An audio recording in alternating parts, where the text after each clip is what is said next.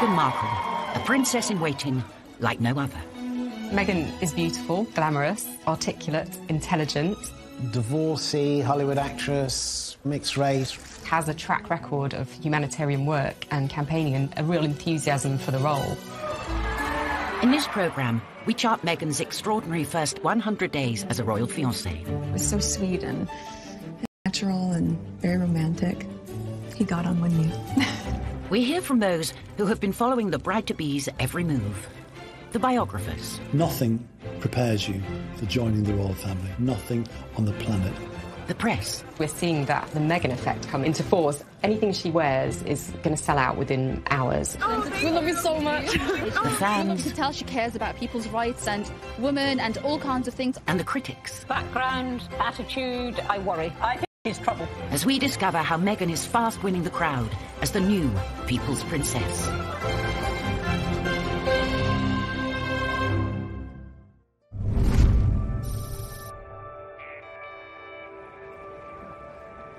Kensington Palace. It's been home to generations of the royal family for more than three centuries. And it was here, on November the 27th, 2017, that Meghan Markle made her first appearance as Prince Harry's fiancée. Harry, when did you know she was the one? Um, very first time we met. Prince Harry had proposed to Meghan at his two-bedroom cottage inside the Kensington estate earlier that month. But now they were making the news public, and Meghan was making an immediate impression. What struck me most on the engagement day was how calm, considered, sophisticated Meghan was. I'm so happy. Please welcome the lovely Meghan Markle, everybody. Meghan wasn't your typical royal bride to be. She was American. I'm a California girl, born and raised. A divorcee, and from a mixed race background. She was also a seasoned Hollywood actress who, unlike her young and inexperienced predecessors, knew exactly how to hold herself in front of the cameras. Okay. You guys, thank you so much. I was reminded of the days when Prince Charles and Princess Diana came out on their engagement day and how awkward and uh, inarticulate it all was. And I suppose in love. Of course. Whatever in love means. it didn't have the right feel to it. And even when Catherine and William became engaged, Catherine seemed very, very nervous. No, it, it's very important to me, and uh, you know, I, I hope we'll you know be able to have a happy. She was the one who seemed the least nervous of the lot. The engagement announcement attracted media from all over the world. The photographers were desperate for the definitive front page shot of their genuine American princess. And it came right at the end. The real picture is the one where they think they're out of view and they put their arms round each other's waist. Very unroyal and very lovely. At 36, Meghan was three years older than Harry. Like Harry's parents, her father Tom and mother Doria had split before she reached her teens. After developing her acting ambitions at high school, she went on to obtain a university degree. By the time she met Harry, 13 years later, she was a small screen star, thanks to her role in the American TV drama series Suits. The one thing that fascinates me about this is the fact that she is a product of Hollywood, product of television, product of entertainment.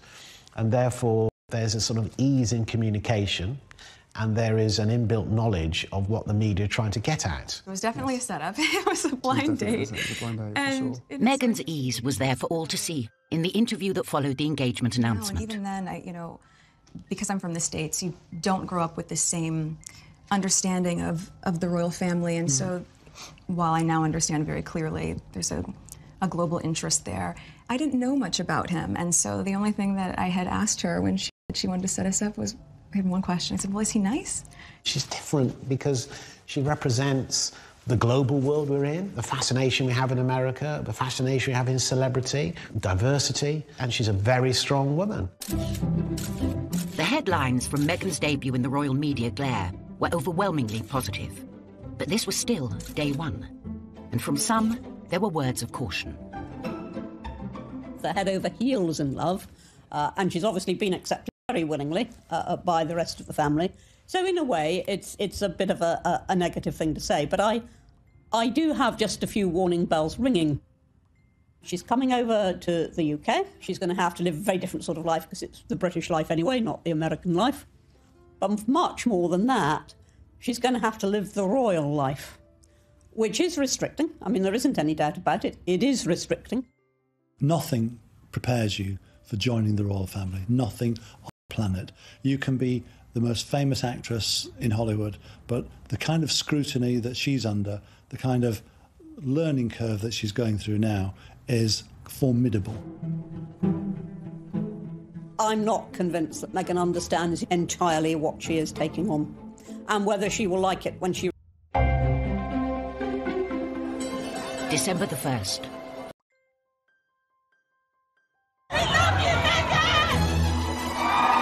Meghan Markle, a princess in waiting like no other. Meghan is beautiful, glamorous, articulate, intelligent. Divorcee, Hollywood actress, mixed race. Has a track record of humanitarian work and campaigning and a real enthusiasm for the role.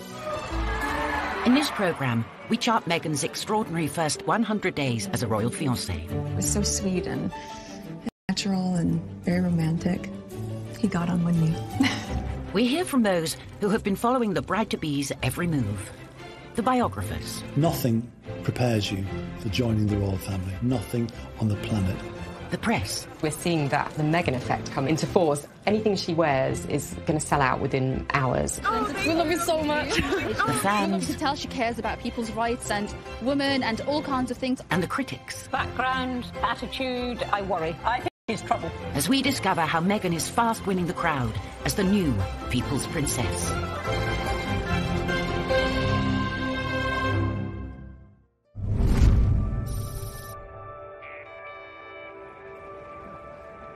Kensington Palace. It's been home to generations of the royal family for more than three centuries. And it was here, on November the 27th, 2017, that Meghan Markle made her first appearance as Prince Harry's fiancée. Harry, when did you know she was the one? Um, very first time we met. Prince Harry had proposed to Meghan at his two-bedroom cottage inside the Kensington estate earlier that month. But now they were making the news public, and Meghan was making an immediate impression. What struck me most on the engagement day was how calm, considered, sophisticated Meghan was. I'm so happy.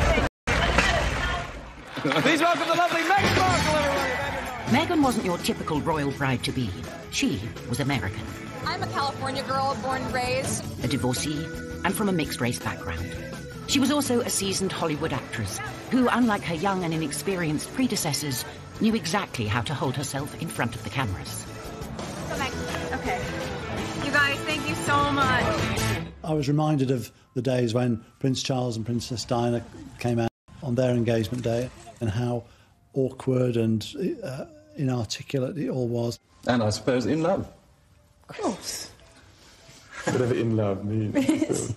it didn't have the right feel to it. And even when Catherine and William became engaged, Catherine seemed very, very nervous. No, it, it's very important to me, and uh, you know, I, I hope we'll you know be able to have a happy. She was the one who seemed the least nervous of the lot. The engagement announcement attracted media from all over the world. The photographers were desperate for the definitive front page shot of their genuine American princess. And it came right at the end. The real picture is the one where they think they're out of view and they put their arms round each other's waist. Very unroyal and very lovely. At 36, Meghan was three years older than Harry. Like Harry's parents, her father Tom and mother Doria had split before she reached her teens. After developing her acting ambitions at high school, she went on to obtain a university degree. By the time she met Harry, 13 years later, she was a small screen star, thanks to her role in the American TV drama series Suits. The one thing that fascinates me about this is the fact that she is a product of Hollywood, product of television, product of entertainment. And therefore, there's a sort of ease in communication and there is an inbuilt knowledge of what the media are trying to get at. It was definitely a setup. it was a blind date. And it was Meghan's ease was there for all to see in the interview that followed the engagement No, announcement. and even then, I, you know, because I'm from the States, you don't grow up with the same understanding of, of the royal family. And so while I now understand very clearly there's a, a global interest there, I didn't know much about him. And so the only thing that I had asked her when she, she wanted to set us up was I had one question. I said, Well, is he nice? She's different because she represents the global world we're in, the fascination we have in America, the fascination we have in celebrity, diversity, and she's a very strong woman. The headlines from Meghan's debut in the royal media glare were overwhelmingly positive. But this was still day one. And from some, there were words of caution. They're head over heels in love, uh, and she's obviously been accepted very willingly uh, uh, by the rest of the family. So in a way, it's it's a bit of a, a, a negative thing to say, but I I do have just a few warning bells ringing. She's coming over to the UK. She's going to have to live a very different sort of life because it's the British life anyway, not the American life. But much more than that, she's going to have to live the royal life, which is restricting. I mean, there isn't any doubt about it. It is restricting. Nothing prepares you for joining the royal family. Nothing planet. You can be the most famous actress in Hollywood, but the kind of scrutiny that she's under, the kind of learning curve that she's going through now, is formidable. I'm not convinced that Meghan understands entirely what she is taking on and whether she will like it when she. December the 1st. And after basking in the headlines of their announcement earlier in the week, it was time for Meghan to fulfill her first official royal engagement. She would have been told it's like walking the red carpet, except for the fact that there's no red carpet, it's cold, and it usually rains, and the conversation is about the weather. It was clear from day one, that first walkabout in Nottingham, that she was like a duck to water. She is absolutely natural at this. Very engaging, very warm, lots of eye contact, talking to people, getting to know them. It's quite cute, actually. A lot of the time you'll hear her say, Hello, I'm Meghan. Well, I think most people there know who she is, but she's just, you know, introducing herself uh, just as normally as she can. Harry chose Nottingham for their first engagement. It's home to Full Effect, a youth project he has supported for the last four years. That same day, the couple visited a World AIDS Day fair. It was a cause Harry's mother had famously championed 30 years earlier, when the disease was still a firm taboo. You could see the pride in Prince Harry. I mean, it was a joy to watch. Of course, Diana would be in their minds because do you remember she was the first person publicly, a royal person, to touch somebody with AIDS? Diana was amazing that she sat with men who had HIV. She held their hand, she talked to them, she had friends who died of AIDS.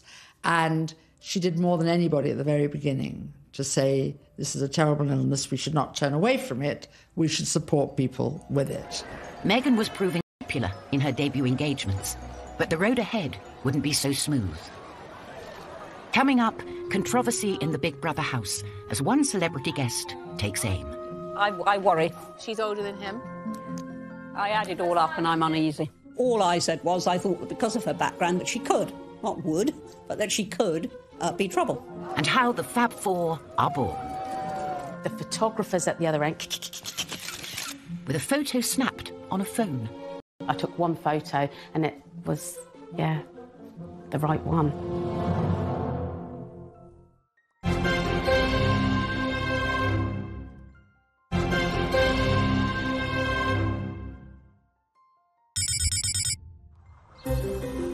Fourteen days after announcing their engagement, Meghan paid a visit to Windsor Castle, home to St George's Chapel, where it was announced she and Harry would be married. St George's has housed a number smaller royal weddings. Back in 1999, Harry's uncle, Prince Edward, married Sophie Rhys Jones here. Although Harry and Meghan had chosen a wedding session steeped in tradition, they had different ideas when it came to naming the date. 2018. Recent royal weddings had all been held on weekdays, but not this one. I think that they thought, we want people to enjoy this, so why not do it on a Saturday? And if you think about most weddings that you and I go to, They're at the weekend, so why wouldn't you follow suit? But there was one reason to avoid that Saturday. It had already been announced as the date of the FA Cup final. As president of the Football Association, Harry's brother Prince William was expected to take his usual place in the royal box at Wembley. And millions more were looking forward to watching the game on TV. I think my wife would probably want to see the um, the royal wedding. So what I'd probably do, I'd probably leave her on her own, maybe with some of her friends. I'll go somewhere else where like-minded people want to watch the FA Cup final. I would so prefer to watch a royal wedding. Not interested in football. Harry and Meghan solved the problem for TV viewers. They announced that their ceremony would begin at noon, several hours earlier than kick-off time. But William decided to avoid the fixture clash altogether, scrapping his Wembley appointment to concentrate fully on the wedding.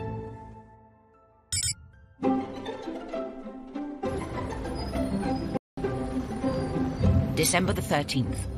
With Christmas less than a fortnight away, Harry and Meghan were preparing to spend their first one together. In 2016, Meghan had spent it with her family in Los Angeles. But this time, she had received an invitation to join Harry and the royal family at their Christmas residence in Norfolk. It was a tremendous break with convention that the Queen invited Meghan, who was, after all, just fiance, to Sandringham because normally it's just the wives and the husbands of members of the royal family who are allowed there. The fact that the Queen obviously was so happy to welcome her there uh, says a lot about uh, the way she's been received into the family. It does show that the Queen is walking in step with the change of the guard at Buckingham Palace. Like her father before her, the Queen has been celebrating Christmas on the 20,000 acre estate since childhood. In that time, certain customs had developed, and new family members were expected to share them. Well, Meghan would have had to get her head around quite a few uh, royal family traditions. They open their presents on Christmas Eve. The presents that they exchange aren't what you'd really expect for members of the royal family. They tend to share really jokey presents with one another. In America, you know, things will come beautifully wrapped and be quite extravagant.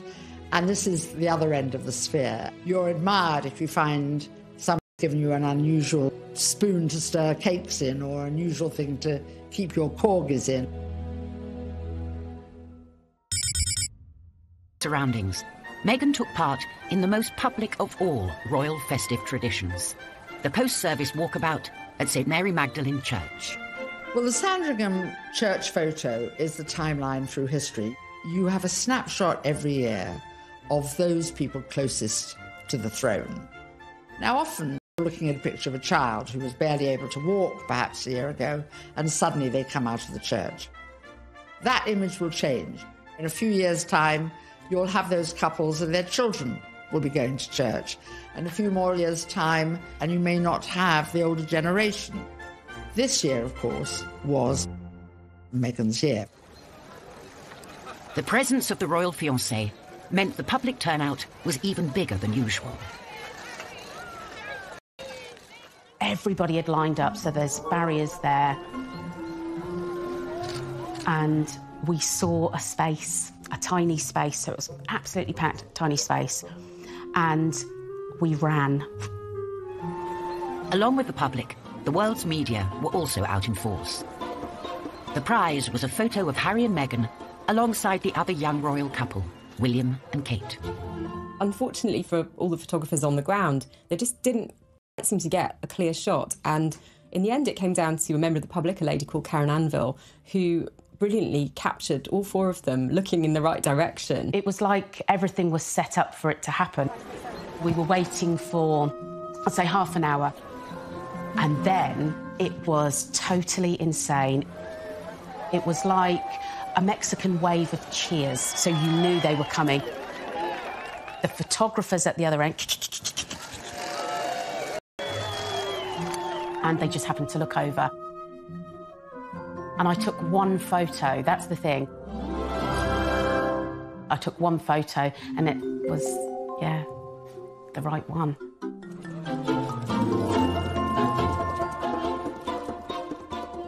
When we saw that shot, it was an absolute no brainer that it was going to be our cover shot because it was the only one that had captured that moment, the four of them together. And, you know, it symbolised quite a lot. In terms of the royal family and where they're going in future. So, um, yeah, I mean, we were delighted to use it on the cover. Many other magazines and newspapers were too, which all added up to an unexpected Christmas present for the amateur snapper. I didn't post the image on social media to make money. I was proud of it and I wanted to share it. And it wasn't a money making, but yes, it's changed my life for I can't even begin to tell you how much. I've had my bathroom tiled, I'm having my kitchen tiled, I'm going to get new carpets, I'm going to get my garden done. Boxing Day, traditional date of the royal shoot. It was first established by King Edward VII and has remained a firm family fixture for well over a century. Harry had taken part since he was a teenager. But not this time. The story is that Harry didn't go on the grouse shoot, which is the big event of Boxing And Meghan apparently doesn't like shooting. Whether she persuaded him, could that be a bit of journalistic extravaganza? In fact, instead of attending the event in Norfolk, Harry was making his way to London to prepare for a long standing appointment the next day with the BBC.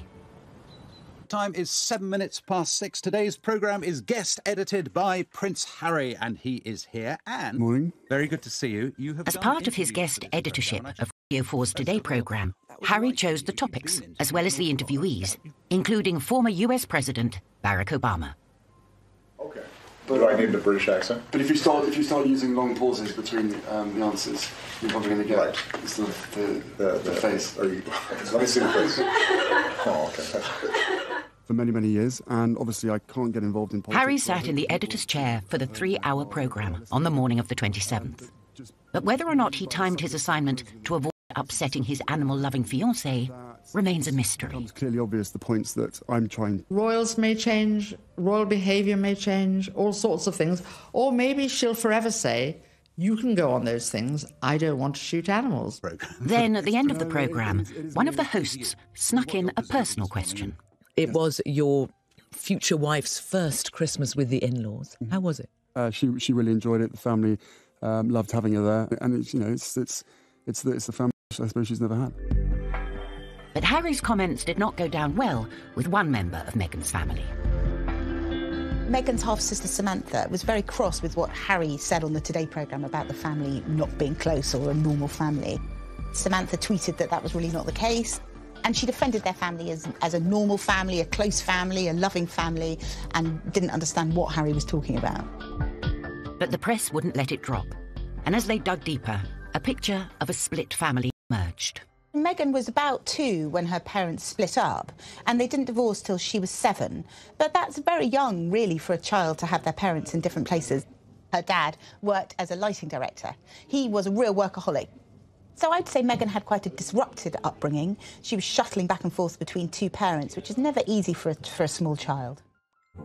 Meghan grew up with two significantly older half siblings from her father's previous relationship.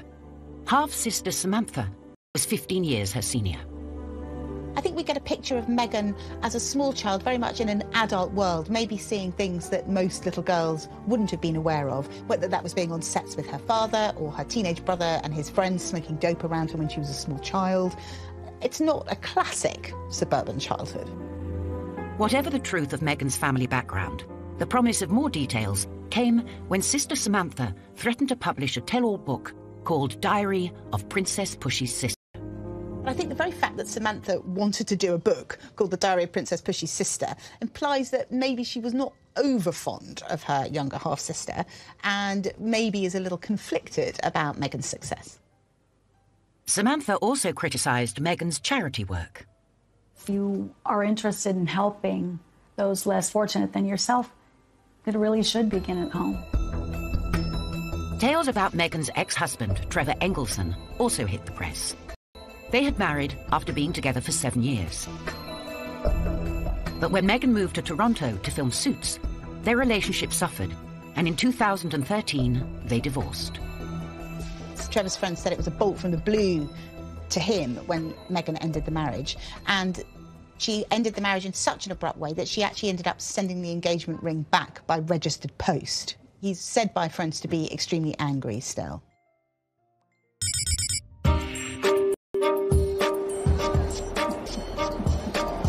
Five weeks after their first walkabout, Harry and Meghan were back on the road. Their destination, one of the most ethnically diverse communities in the UK.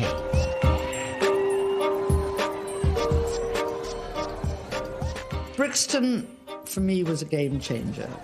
A lot had been written about Meghan having a black mother and a white father, but that suddenly made you realise there were millions of people who loved the royals, but would never have stood out in the cold to wait for one, and they'll wait for Meghan.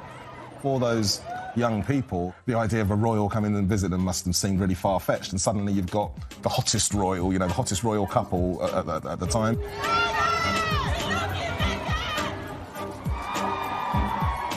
I think that matters. I think that has an impact. People will have thought, wow, she actually came and spoke to us and she seems quite nice. As part of their visit to South London, Harry and Meghan called in on local radio station Reprezent. They actually shook my hand. I didn't expect that. I thought, you know, it would just be a distance.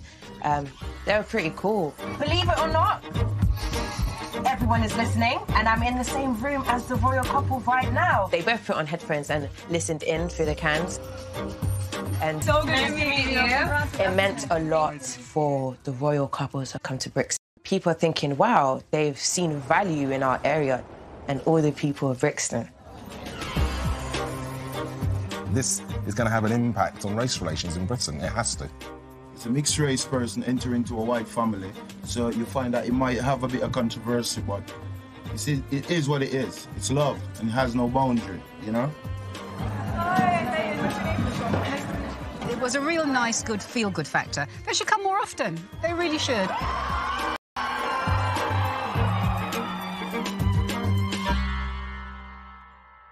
The Brixton visit went down well with most, but not everyone championed Meghan. That same day, former Conservative government minister Anne Widdecombe, a die-hard fan of the royal family, voiced her doubts about Meghan's suitability as a future member.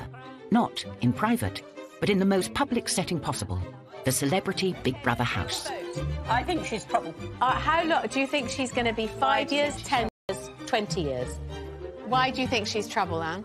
Background, um, attitude. I, I, I worry. She's older than him. She's been married before. Yes. I add it all up and I'm uneasy. But there we go. Quite frankly, I was shocked when Anne Widdecombe said that what she said.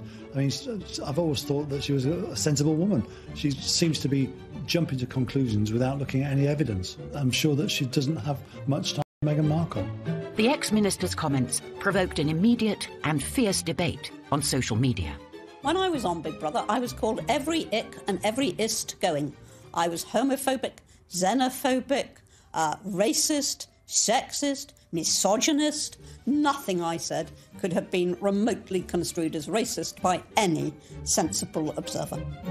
I mean, all I said was I thought that because of her background, and I was thinking of freewheeling Hollywood background, you know, former marriage, all the rest of it, uh, that because of her background, I thought that she could, not would, but that she could uh, be trouble. She had, I think, the older generation's view of this is an outsider, a foreigner coming into a very British organisation, almost, you could say.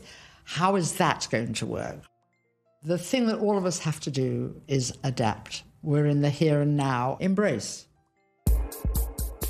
Coming up, the politics of the guest list. Meghan causes a potential row as she and Harry draw up the invites. Have you got an invite to the royal wedding? Have I? Yeah. Not that I know of. Would you like to go? I want them to be happy.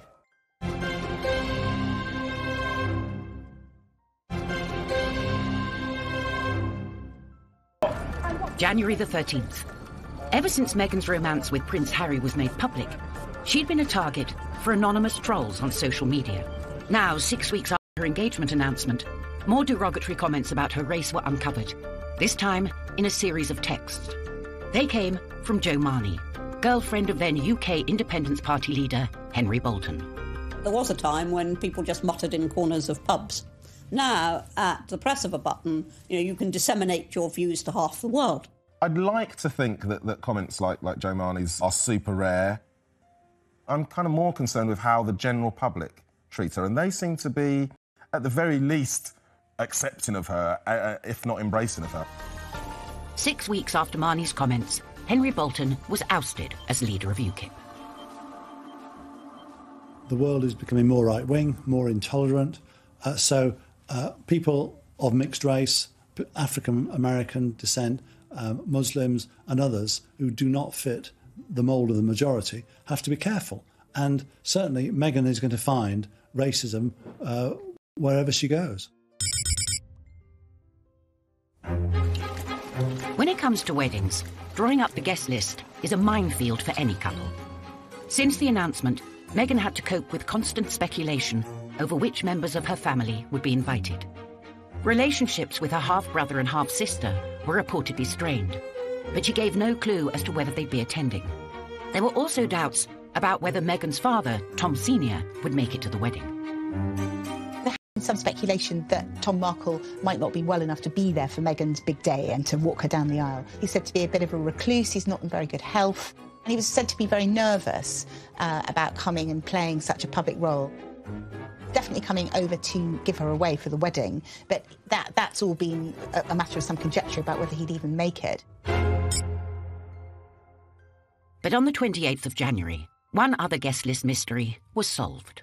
Have you got an invite to the royal wedding? Have I? Yeah. Not that I know of. Would you like to go? I want them to be happy. I really want them to be happy. They look like a lovely couple. Meghan Markle did say you were a divisive misogynist. Well, I still hope they're happy. It was a source of quite a lot of amusement for comedians in the US who like to take every opportunity they can to poke fun at him. So Donald Trump is mad because Prince Harry didn't invite him to the, to the wedding, to the royal wedding over there in England. I don't even know why. I don't know why you mad. You shouldn't even be surprised, uh, Donald. Don't nobody like you. The apparent decision to snub the US president may have been a source of jokes for comedians, but according to some sections of the media, it was also a potential invited Trump's predecessor, Barack Obama, a friend to them both. But as Harry and Meghan's wedding is a non state event, that means he and Meghan don't have to follow the same diplomatic rules as William and Kate did back in 2011. Uh, this is not a state occasion, this wedding. He can invite his friends and Meghan's friends. He doesn't have to invite Trump. It's as simple as that. The 12th of February. After a series of very public walkabouts, news came of a much more private meeting. Meghan paid at least two unpublicised visits to a mosque near Grenfell Tower, the scene of a devastating fire in June 2017. I live not very far away from Grenfell. Um, I was absolutely mortified, shocked, and really distressed by what was un- unfolding, and I wanted to get involved. Majella Green is an active supporter of the Grenfell families, many of whom worship at the mosque.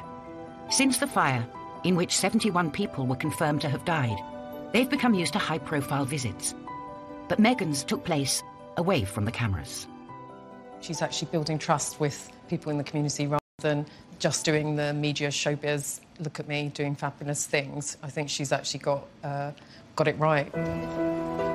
Meghan's visit had echoes of the charity work undertaken by an earlier princess.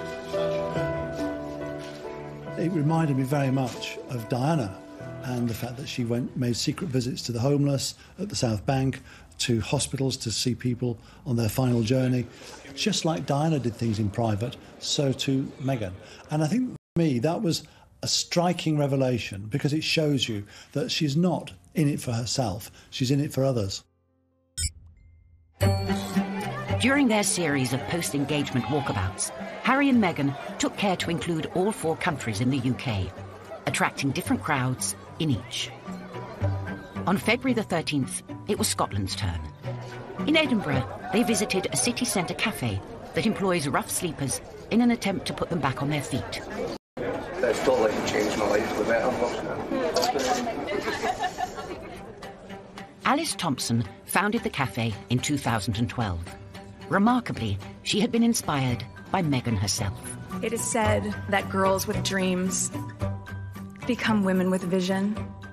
I had actually seen Meghan Markle give a speech at the UN Women Conference in 2015. For me, as a young woman in business, I, I was really, really inspired by that. It really gave me a good bit a boost of confidence um, to go out there and know that I could do it. I was just so moved by it, so I felt like it was only appropriate to tell her that it had really inspired me to continue the work I was doing. Really emotional, and she explained to me that she had been so nervous to give that speech, and uh, and she seemed really touched and delighted that it had affected somebody positively. Just sort of went to shake her hand to say goodbye, and she sort of nudged it out of the way and just embraced me with a with a cuddle.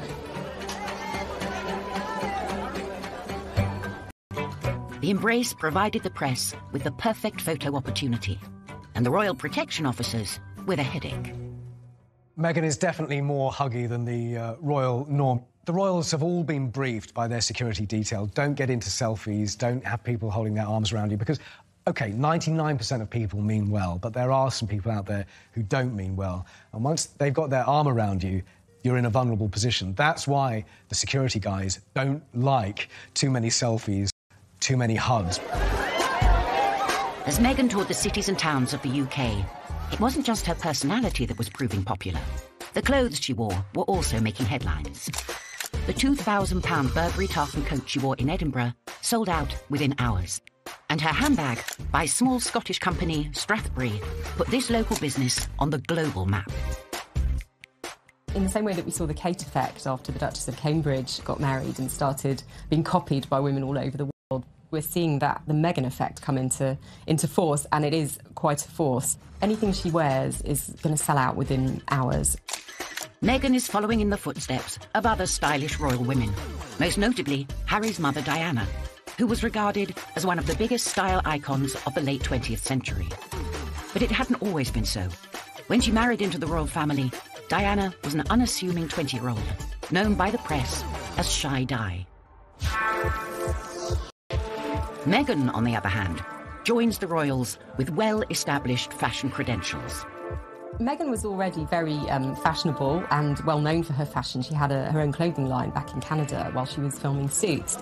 I think designers are going to be falling over themselves to dress her. She's really setting trends for all kinds of things. I imagine there's a whole generation of young women out there wearing mismatching earrings and you know, lots of delicate jewellery on their fingers because it's what Meghan does. Áng mây. Hòa trong gió tiếng sao vang từ đâu? Diều bay vút cao. Rồi cùng nhau chia phe chơi tròn tiền dưới bóng cây đa già. Bên sân đình bãi sông, làm con dâu chú rể chiếc kiều la, trò chơi rước dâu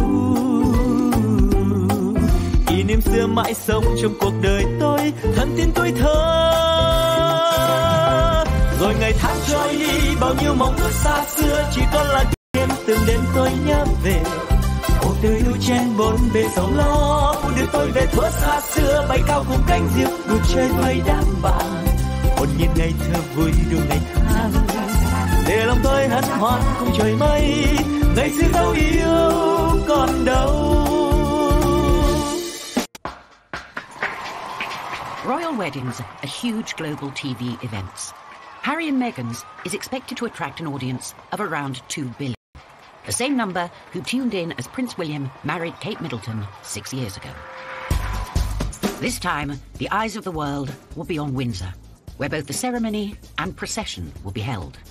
But on February the 14th, the leader of the local council was forced to U turn a controversial proposal to remove rough sleepers from the streets for the royal wedding. The suggestion had gone down badly with the locals. They're sort of treated like rubbish if you're saying that they need to be removed for the royal wedding. I don't agree with that the people of Windsor, they don't believe that people should have to sleep in a doorway or beg for money. They think they should be given whatever help and support they need. As outrage grew, a petition was raised opposing the council's plans. For this councillor in Windsor to say that the streets of Windsor should be cleared of the homeless, he couldn't have, he couldn't have picked a worse target to attack or, or a family, the royal family, to annoy. You've got Prince William, the president, chairman of Centrepoint for homeless young people. So the royal family, if they know anything, they know that they support any measures to help the homeless, and it ain't just clearing them off the street. The public pressure succeeded, and the idea of removing the homeless from the eyes of the world was shelved. February the 22nd. A suspicious package containing a white powder and a racist note was sent in the post. It arrived at the royal household Meghan's name on it. The good news is the security operation worked, the package never got to Meghan, it was intercepted, and the powder that was in there wasn't anthrax, it was a uh, harmless substance. But clearly the message was nasty, was racist, and that is being uh, investigated. Uh, Meghan Markle is, is marrying into the world's number one family. Um, and that comes with a tremendous threat because of what um, the British royal family actually stand for across the globe. Following the incident, security around Meghan was reportedly stepped up. Five weeks later, it was announced that Windsor will be subject to unprecedented safety measures on the day of the wedding, with anyone wishing to enter the town centre passing through airport style security scanners. I think Meghan will, obviously be aware that she's now a target. So she knows now that she's moved from being a mid level TV personality to being a major target, and I'm afraid she's going to have to live with that, as the rest of the royal family do. For years before she got her big TV break, she'd been a struggling actress in Hollywood. And from the announcement of her engagement to Harry, newspapers had been poring over her early life for any hint of scandal. On February the 24th, the latest unwelcome headlines, linking her with anonymous social media posts written several years earlier. The diary has no name on it, and in it there's a phrase about magic boobs. This has been pounced upon by certain newspapers as a story about Meghan. For Meghan supporters, the coverage was an intrusion into her life before her engagement. For royal watchers, the coverage was a reminder of the press intrusion experienced by Princess Diana a quarter of a century earlier and a warning to Meghan of what might lie ahead.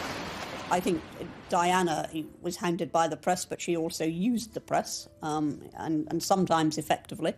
Uh, but if you use the press and media extensively, you've got to understand they won't go away when it's convenient. Meghan's going to have to suffer quite a lot of over interest, probably, from here to the wedding and probably for a year or two after that. If she continues to use the press and media, that's fine, because then, you know, she's um, uh, publicising her causes. So that's fine. I don't have a problem with that. But if she does continue to use them, then she's got to accept right from the start that when things go wrong, they're still going to be there in great numbers. Coming up, the new Fab Four take to the stage for the first time. I fundamentally disagree with that because women don't need to find a voice. And will Meghan decide to be baptised before the big day?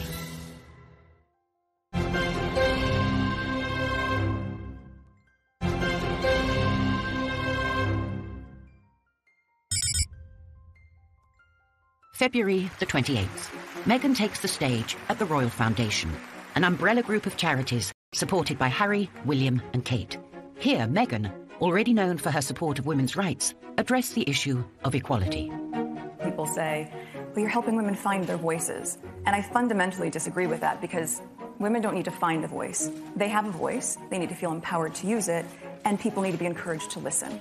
And I think there is no better time than to really continue to shine a light on women feeling empowered and people really helping to support them. For some critics, it was a step too far for a soon to be royal. She verged on the political uh, when she was talking about women's empowerment, and it was all a bit Me Too ish. The royals don't do that. And indeed, the day that the royals start engaging in political causes is the day you get a lot of controversy. There is a very good reason why the royals stay off politics, and it's to avoid precisely that. They don't vote. They're... The royal family talking about those campaigns. But Kensington Palace stressed that it would have been impossible for Meghan to talk about issues surrounding female empowerment without talking about those campaigns. It's interesting that Meghan speaking up in favour of Me Too and Time's Up is already being examined as if it may somehow breach impartiality rules, as if saying not treating women badly is somehow a political thing to say is ludicrous. But it is obviously a new way for the royal family to be speaking that overtly and that strongly, and it's fantastic. It was very special. It was beautiful, um, sincere, and uh, very moving. It was a great privilege. March the 6th, exactly 100 days after her engagement was announced, Meghan was baptised by the Archbishop of Canterbury. Before marrying into the royal family, she chose to join the Church of England, of which the Queen is supreme governor. It was reported that the Archbishop had guided Meghan through the preparations for the baptism. He would have had some meetings, a few meetings with Meghan in a very relaxed sort of way, more of a conversation, rather than uh, you know, the Archbishop telling, you know, Meghan, you know, what the Christian faith is all about. The private baptism took place in the chapel of St James's Palace. It would have been a very intimate occasion, just a few family and friends present. Although she had attended a Catholic school in LA, Meghan had a Protestant background.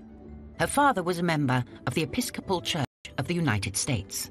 It would not have been an enormous step, you know, to get baptized, but it was a big step in a way. But I think out of deference to the Queen and to her very strong faith, it sort of tidied things up. And it augurs well for the future because she will have to attend many, you know, services in Church of England cathedrals. In her first 100 days, Meghan has proved popular with many, but she's also sparking debate and in some quarters, controversy. It has been suggested she will modernise the monarchy, which has been received with both delight and concern. But what of the future? Meghan is so different and so interesting and so modern. It is going to turbocharge his work and his purpose. You're the youngest one, right? Yeah, I'm the youngest one. I would really hope that she carries on being outspoken. I, I hope that the royal machine doesn't try too hard to manage her message. This does feel like a really transformative moment for a modern monarchy in modern Britain. They're not going to be the same again. The fact that she's unusual for the royal family, I think the fact that she comes from a different country, a different background, it's just a plus. Within a hundred days, the impact. The perfect modern princess.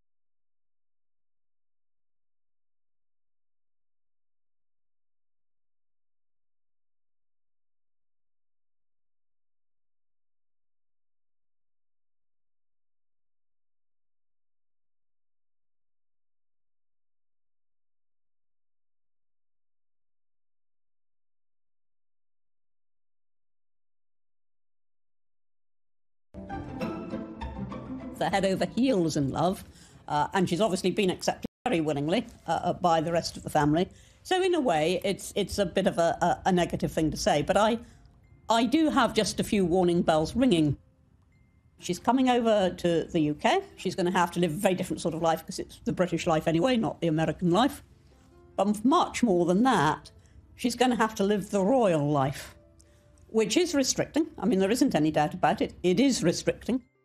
Nothing prepares you for joining the royal family. Nothing on the planet. You can be the most famous actress in Hollywood, but the kind of scrutiny that she's under, the kind of learning curve that she's going through now, is formidable. I'm not convinced that Meghan understands entirely what she is taking on and whether she will like it when she. December the 1st.